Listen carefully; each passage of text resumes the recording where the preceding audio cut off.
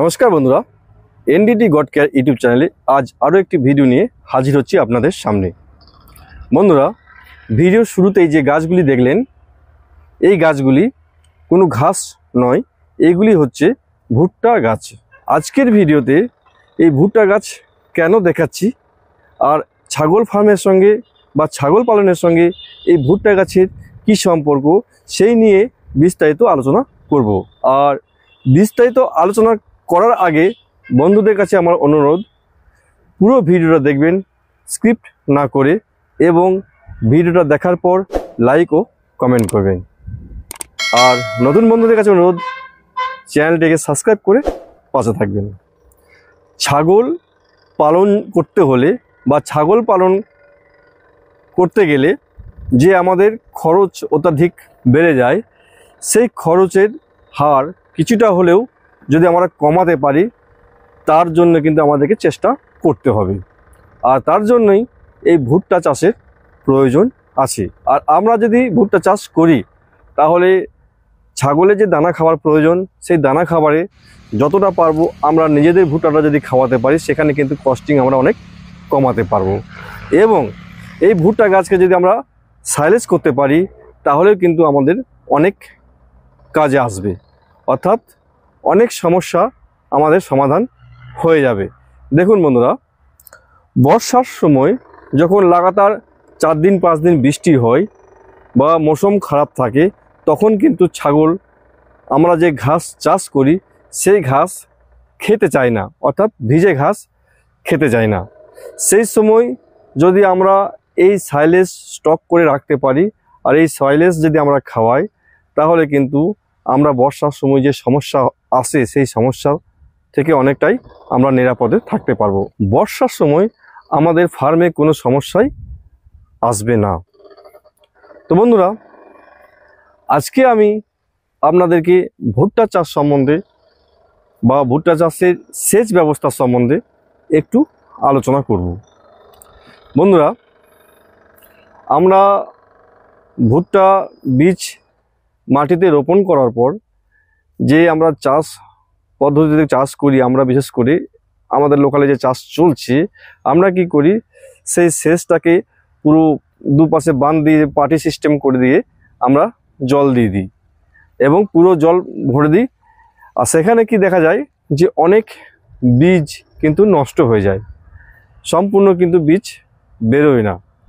আর তার ফলে কিন্তু আমাদের কিছুটা হলেও লস হয়। তো এই সমস্যাটা থেকে সমাধান করতে গেলে আমি বিশেষ করে যখন ছাগলের ফার্মের জন্য আমি ভুট্টা চাষ করছি, তখন কিন্তু আমি একটা নতুন সিস্টেমের এবছর থেকে ভুট্টার সেচ ব্যবস্থা করেছি। আর সেই সেচ ব্যবস্থা ততদিনই করব যতদিন আমার গাছটা একটু বড় না হয়ে যাচ্ছে। অর্থাৎ দুই থেকে তিনবার যদি আমরা নতুন নিয়মে, অর্থাৎ এই ফোয়ারা সিস্টেমে যদি জল দিই, তাহলে কিন্তু গাছের গ্রোথও ভালো থাকে এবং গাছের যে বীজ আমরা মাটিতে রোপণ করি, সেই বীজের জার্মিনেশনটাও খুব ভালো হয়। বীজ নষ্ট কম হয়, যেটা নালার মাধ্যমে জল দিলে বীজের পচন হয়, সেই জিনিসটা কিন্তু এই ফোয়ারার মাধ্যমে জল দিলে সেই জিনিসটা হয় না। তো বন্ধুরা, এখন যদি আপনাদের প্রশ্ন থাকে, এই পাইপগুলি কোথায় পাবো? তো বন্ধুদেরকে জানিয়ে রাখি, এই পাইপগুলো কিন্তু অনলাইন অ্যাপ্লাই করেই নিতে হয়। তো আপনার যদি এই সম্বন্ধে আর কোনো ভিডিও পেতে যান তাহলে কমেন্ট বক্সে গিয়ে কমেন্ট করবেন। আমি এই বিষয় নিয়ে কীভাবে পাইপ পাবেন, কোথায় যোগাযোগ করতে হবে, এই বিষয় নিয়েও আপনাদের সামনে পরবর্তী আমি ভিডিও নিয়ে আসব।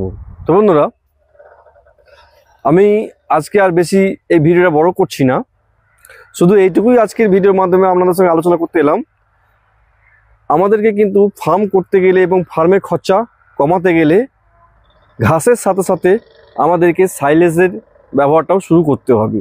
আর সাইলেজের ব্যবহার শুরু করলে কিন্তু আমরা ফার্ম গ্রোথ করতে পারব। কারণ বর্ষার সময় যে পরিমাণে সাইলেজ প্রয়োজন হয়, সেই পরিমাণে যদি সাইলেজ আমরা তৈরি করে রাখি, তাহলে কি হয়, বর্ষা যে ঘাসের ঘাস থাকলেও, যে ঘাস ছাগল খেতে যায় না, তখন কিন্তু আমরা এক টাইম কমসে কম সাইলেজ খাইয়েও রাখতে পারব। বর্ষার সময়ে যখন পাঁচ দিন, সাত দিন যখন বৃষ্টি হয়, তখন বাইরের যে ভেজা ঘাস, সেই ঘাস ছাগল খেতে যায় না। তখন কিন্তু সাইলেসে সেই সময় সেই সমস্যাটা আমরা সমাধান করতে পারব। আপনি যদি ভাবেন যে আপনার পর্যাপ্ত পরিমাণের চারণভূমি আছে, আপনার ঘাসের মানে সাইলেজ বা অন্য কোনো খাবারের প্রয়োজন নেই, তাহলে সেটা কিন্তু ভুল ধারণা। যদি আপনি ফার্ম আকারের, অর্থাৎ যদি আপনি ব্যবসায়ী আকারে ছাগল পালন করছেন এবং ফার্ম করে বড় এ বড় কিছু করতে চাইছেন বা আরও একটু এগিয়ে যেতে চাইছেন, তাহলে কিন্তু শুধু চারণভূমির উপর ভরসা করলে চলবে না। আপনাকে কিন্তু দানা খাবার বা অন্যান্য খাবারগুলিও ছাগলকে দিতে হবে। আর সেখানে যদি আপনি নিজে জমিতে ভুট্টা চাষ করেন, তাহলে কিন্তু আপনি বাজার থেকে যখন ভুট্টা কিনতে যাবেন, আপনাকে কমসে কম বাইশ থেকে পঁচিশ টাকা কিলো আপনাকে দিয়ে কিনতে হবে। আর সেই চাষটা যদি আপনি নিজে করতে পারেন, তাহলে কিন্তু অনেকটাই খরচা আপনি কমিয়ে নিতে পারবেন। তো বন্ধুরা, আজ এই পর্যন্তই। আবার দেখা হবে পরবর্তী ভিডিওতে। ধন্যবাদ।